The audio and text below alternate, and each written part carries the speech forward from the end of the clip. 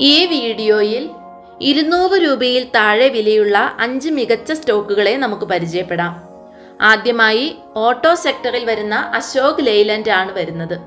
ഹിന്ദുജ ഗ്രൂപ്പിന്റെ ഭാഗമായ അശോക് ലെയ്ലൻഡ് ചെന്നൈ ആസ്ഥാനമായി പ്രവർത്തിക്കുന്ന ഒരു ഇന്ത്യൻ മൾട്ടിനാഷണൽ ഓട്ടോമോട്ടീവ് നിർമ്മാതാക്കളാണ്. ഇത് ആയിരത്തി തൊള്ളായിരത്തി നാൽപ്പത്തെട്ടിൽ അശോക് മോട്ടോഴ്സ് എന്ന പേരിൽ സ്ഥാപിതമായി. പിന്നീട് ബ്രിട്ടീഷ് ലെയ്ലൻഡുമായി സഹകരിച്ച് ആയിരത്തി തൊള്ളായിരത്തി അൻപത്തഞ്ചിൽ അശോക് ലെയ്ലാൻഡായി മാറി. അശോക് ലെയ്ലാൻഡ് ഇന്ത്യയിലെ വാണിജ്യ വാഹനങ്ങളുടെ രണ്ടാമത്തെ വലിയ നിർമ്മാതാക്കളാണ്. ലോകത്തിലെ മൂന്നാമത്തെ വലിയ ബസ് നിർമ്മാതാക്കളും ട്രക്കുകളുടെ ഏറ്റവും വലിയ പത്താമത്തെ നിർമ്മാതാക്കളുമാണ്.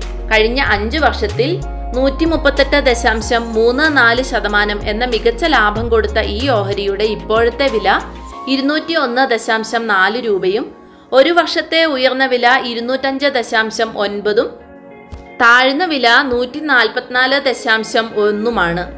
കമ്പനിയുടെ നിലവിലെ വിപണി മൂല്യം അൻപത്തൊൻപതിനായിരത്തി ഒരുന്നൂറ്റി മുപ്പത്തേഴ് കോടിയാണ്. പി ഇ റേഷ്യോ ഇരുപത്തിനാല് ദശാംശം എട്ട് മൂന്ന് ശതമാനമാണ്. കരുത്തുറ്റ ഓർഡർ ബുക്കാണ് കമ്പനിക്ക് നിലവിലുള്ളത്.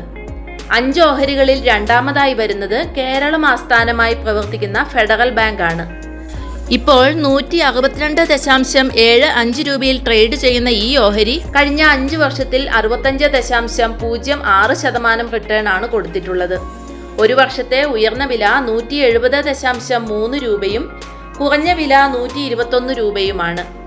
കഴിഞ്ഞ കുറേ വർഷങ്ങളായി മികച്ച പ്രവർത്തന ഫലങ്ങളാണ് ബാങ്കിന്റേത് ലാർജ് ക്യാപ് ഓഹരികളുടെ ഗണത്തിലേക്ക് കുതിക്കുന്ന ഈ ബാങ്കിന്റെ നിലവിലെ വിപണി മൂല്യം മുപ്പത്തൊൻപതിനായിരത്തി അറുന്നൂറ്റി അറുപത്തി ആറ് കോടിയാണ്. പി ഇ റേഷ്യോ പത്ത് ദശാംശം രണ്ട് രണ്ട് ശതമാനമാണ്. ഇപ്പോൾ കുറഞ്ഞ മൂല്യത്തിൽ ട്രേഡ് ചെയ്യുന്ന ഈ ഓഹരി ദീർഘകാല നിക്ഷേപത്തിന് പരിഗണിക്കാവുന്നതാണ്. മൂന്നാമതായി ഇന്ത്യൻ എനർജി എക്സ്ചേഞ്ച് അഥവാ ഐ ഇ എക്സ് ആണ് വരുന്നത്.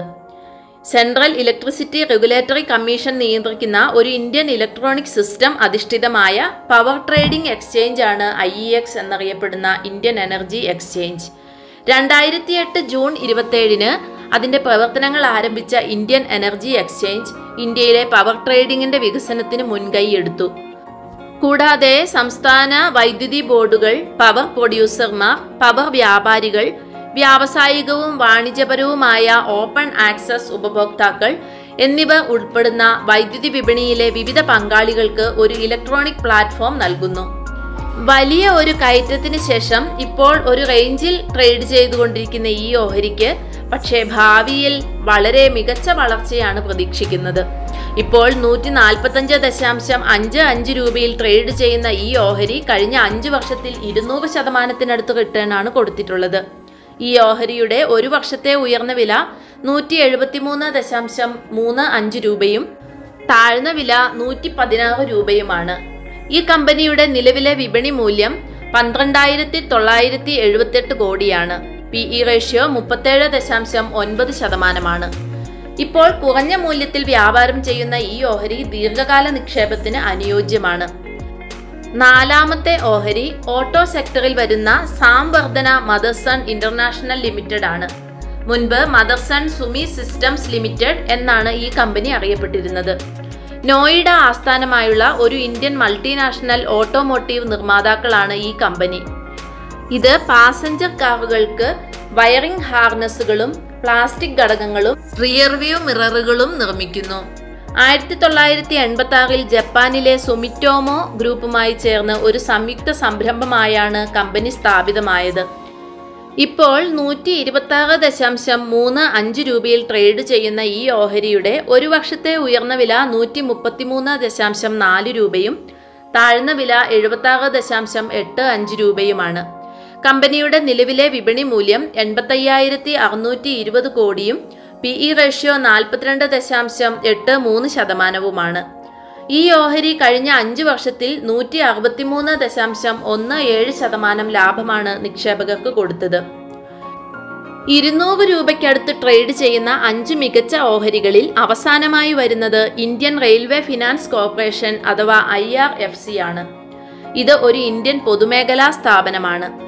I R F C Indian റെയിൽവേയുടെ എക്സ്ട്രാ ബഡ്ജറ്ററി റിസോഴ്സസ് ആവശ്യങ്ങൾ നിറവേറ്റുന്നതിനായി ആഭ്യന്തര വിദേശ വിപണികളിൽ നിന്ന് ഫണ്ട് സ്വരൂപിക്കുന്നതിനായി ആയിരത്തി തൊള്ളായിരത്തി എൺപത്തി ആറ് ഡിസംബറിൽ സ്ഥാപിതമായി. കമ്പനിയുടെ ഭൂരിഭാഗം ഓഹരികളും ഇന്ത്യ ഗവൺമെന്റിന്റെ കൈവശമാണ്. അതേസമയം കമ്പനിയുടെ അഡ്മിനിസ്ട്രേറ്റീവ് നിയന്ത്രണം റെയിൽവേ മന്ത്രാലയത്തിനാണുള്ളത്. ഇനി ഈ ഓഹരിയുടെ വിശദാംശങ്ങൾ പരിശോധിക്കാം. രണ്ടായിരത്തി ഇരുപത്തൊന്നിൽ ലിസ്റ്റ് ചെയ്ത ഈ ഓഹരി ചുരുങ്ങിയ കാലം കൊണ്ട് തന്നെ അഞ്ഞൂറ്റി ഇരുപത്തി ആറ് ദശാംശം എട്ട് ഒന്ന് ശതമാനം എന്ന അതിഗംഭീര റിട്ടേൺ ആണ് നിക്ഷേപകർക്ക് കൊടുത്തത്. ഇപ്പോൾ നൂറ്റി അൻപത്തഞ്ച് ദശാംശം നാല് അഞ്ച് രൂപ വിലയുള്ള ഈ ഓഹരിയുടെ ഒരു വർഷത്തെ ഉയർന്ന വില നൂറ്റി തൊണ്ണൂറ്റിരണ്ട് ദശാംശം എട്ടും താഴ്ന്ന വില മുപ്പത്തൊന്ന് ദശാംശം രണ്ടുമാണ്.